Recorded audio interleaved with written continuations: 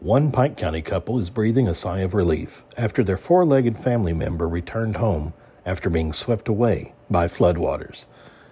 William and Melody Blankenship's dog Blue, who is blind, got scared by the crash of thunder Monday morning and ran into the swollen creek outside their home at Majestic.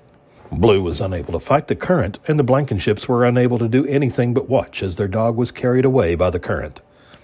Melody says that William got in his truck and tried to go after the dog, but he could only get so far before being stopped by a water covered roadway.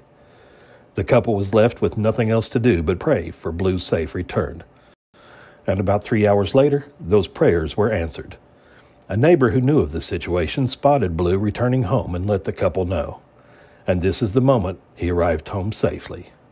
Melody says that because Blue is blind and isn't as spry as he once was now that he is getting older, she has no idea how he was able to make it back home. She's just thankful that her prayers were answered.